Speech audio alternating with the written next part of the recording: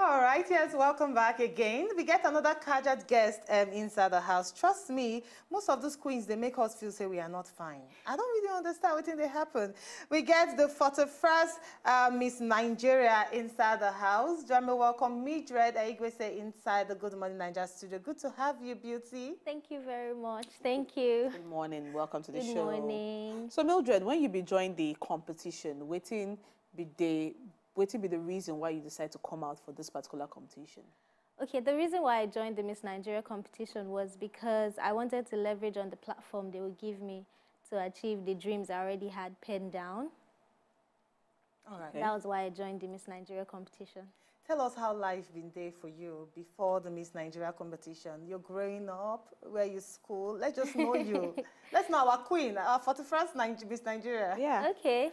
Um, I grew up in Adamawa State, which is in the north of Nigeria. And I grew up with my mom and two brothers. Growing up was very interesting because in the north you get to explore a lot of things. And I enjoyed, I absolutely enjoyed it. It was adventurous for me. I schooled in Concordia College, Yola. And okay, so th- those are basically the things that laid the foundation for who I am today because that's where the foundation of my life was. But you are not um, from the north. No, I'm not. My mom Because is. you really resemble them. Yeah, she has the shape of face. She na Edo. Thank you. Don't I don't get the fine well well. I just have to say that. Oh my. No, I just have to say Thank that. you very much. Thank you. Okay, but, but really, I mean, for someone who, who then born for the north, that means you could get some principles of some upbringing where, where, where, where they don't imbibe inside you based on, if it be just the environment around you. Now, as with that upbringing where you get based on the child from the northern, born in the northern region, um, how you take manage gather the courage to come out for a, for a competition such as this, where we know say a lot of people from that, where they born for that region, they know they try avoid this kind of exposure. So waiting bring about the you, the courage or how you take manage gather yourself to even tell Male. Male say now waiting I want do be this. As weird as that may sound, it's actually my mom that got me the forms. Oh. yeah, she was my. She's you. always been my support, my biggest fan. So um, I had always known that the Miss Nigeria pageant was a very credible one, and they didn't have the bikini um, pageant in it. So it wasn't hard for her to actually just flow with it because she knew I wasn't going to wear things that was going to expose me or do things that were not going to be good for me. So she got me the uh, form after she, her cousin told her about it. And she's like, oh, yes, wow, my daughter is a beautiful daughter. And then she got me the form. And I went for the cast. So when I went for the cast, I felt very out of place because as a girl from the north, I dressed very casually, subtle. And then I got there and everybody was on fleek, hair on fleek, makeup on fleek, everything. I didn't, even, I didn't have makeup on. And I'm like, wow, Mildred, why did you do this to yourself? And after the cast, I was just waiting for a call. I was praying for a call back, actually. And on the callback day, they said uh, we are going to get called back by 12 noon. And I waited till like 1. I didn't get my call back. My call back. I almost cried, Seth. And next to my call came through. Oh, very nice one, Mildred. Thank now, I you. don't talk say any Miss Nigeria will get inside the house, I must ask um, this particular question. Now, because you don't experience the Miss Nigeria pageant, how relevant is this pageant to our society? Oh, the Miss Nigeria pageant is very relevant to the society. Of course, I would say that.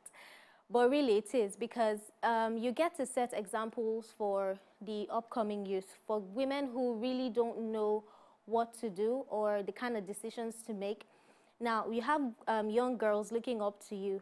So you can't just behave anyhow because you're a role model to the society. So girls who have dreams and think that, okay, if I'm going into pageantry, that means I'm going to have to compromise or do some things that are not very good. You come into the Miss Nigeria pageant and realize you're not compromised. Instead, you're even working so much and you have to live up to your expectation. You're a role model. So it helps to um, develop women basically. Um, the motto for Miss Nigeria pageant is um, women beyond Empowering women beyond empowering women beauty. beyond beauty. Thank you very much. So if you're empowering women, definitely women would also be looking up to you to see what you do, to know what um, steps to take, the right steps to take and decisions to make. So it's very important, basically. uh, and you really get to important. also carry out projects. Exactly. Now that now the next question where the answer now. So the question um, it, it leads to brings us to your project now. Um, you know, say every every beauty queen has a project during that time during that tenure. Now your project, who you get, um, how effective or how relevant or how how well done has it been so far, especially to the women or the girls in the society where you did do that particular project? Okay, I've worked on a couple of projects, about seven or eight. I, I can't place the exact number. But the um, projects are centered um, around women and children, basically. So all the projects I've carried out with other organizations are either to educate or empower or awareness, basically. For instance, I work with NAPTIP. Now, for NAPTIP, we are creating awareness on human trafficking. For Yedi Niger, we are educating on malaria. For um, Walk Against Rape, educating on rape and stuff like uh-huh. that. So basically, all the projects are centered uh, um, around women and children. Oh, I had one that wasn't just women and children. After the Otedola Bridge um, explosion, I had an outreach to all the uh, victims that were at the Gbagada General Hospital. So that's like the only project that isn't centered around women and children. children. So tell us about your Green Girl project. I want to oh, know yeah. more about that. so the Green Girl project is basically about um, environmental sustainability.